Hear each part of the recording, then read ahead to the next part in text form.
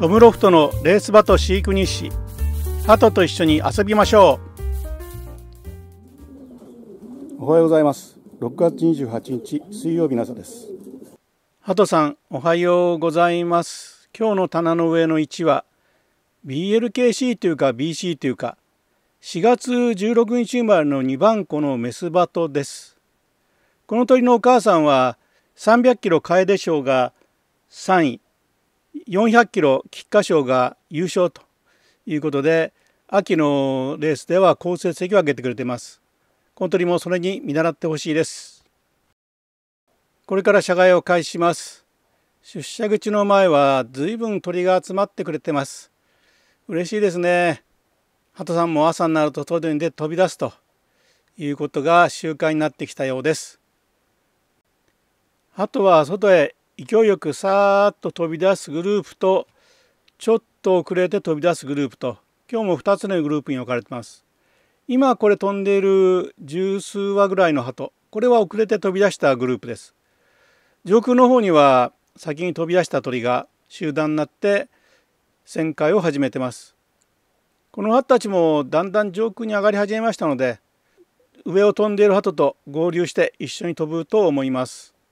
これですね。上空いい高さいい感じで飛び回ってる先に飛び上がった鳩たちです。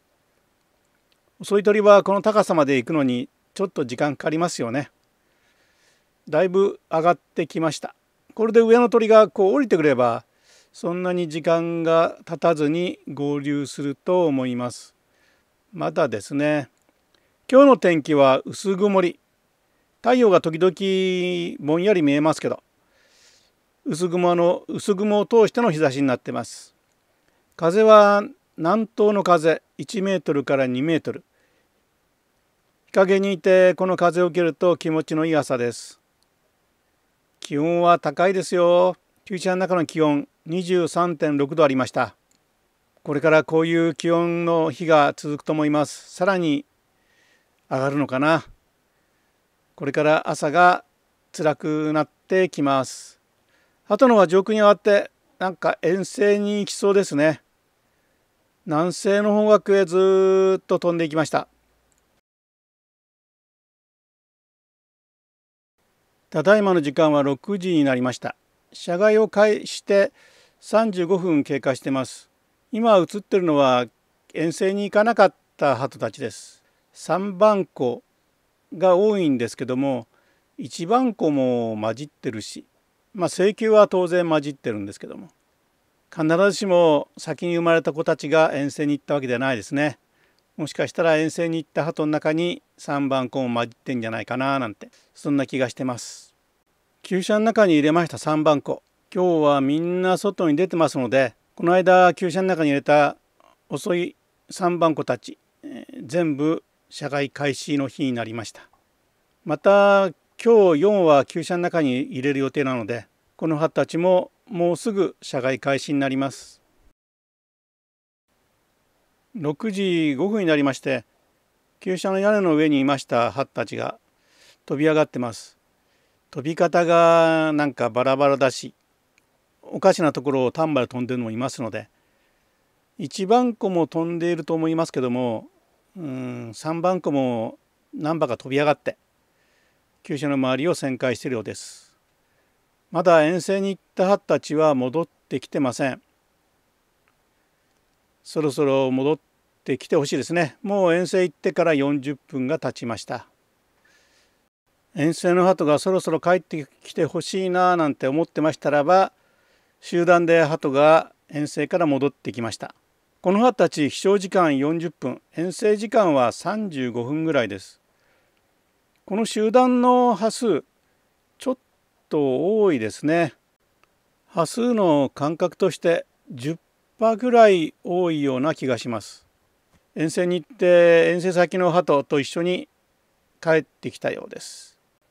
鳩が降り始めましたね。降りてきた鳩の様子はどうでしょうか。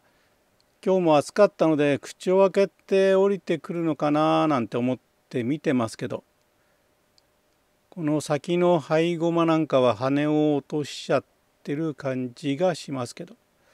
動かないですね。疲れちゃったのかな。まだ上空は飛び回ってる鳥がいます。この鳥が降りてくれば状況がわかると思うんですけども。先に降りてきた鳥の状況はおかしいのもいますけども全体としてはそれほど疲れたっていう感じではないですね。今また降りてきましたね。まとまってドンと降りてこないんで何とも言えないんですけども。うんやはり40分間の飛翔してますからまるっきり元気というわけじゃないですね。やっぱりそれなりにちょっと疲労感があるような降り方をしてます。降りてたと動きが鈍いですもんね。真面目に鳩は遠征に行って飛び回っていたようです。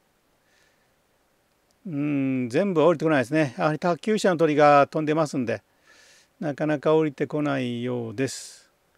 しばらくこのまま屋根の上で遊ばしておきたいと思います。今日は厩舎から初めて外に出た3番子もいますので入社がすごく心配でどうなのかなと思ってましたらば残念ながら屋根の上にこんなにいっぱい鳩が残ってます。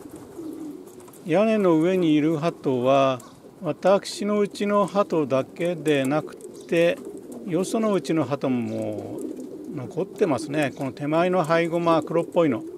これはうちの色はじゃないですね。今日外に出て厩舎の中に入らないという3番子のほかに今日4羽展望台から厩舎の中に4羽入れました。下のサッシをオープンにしてます。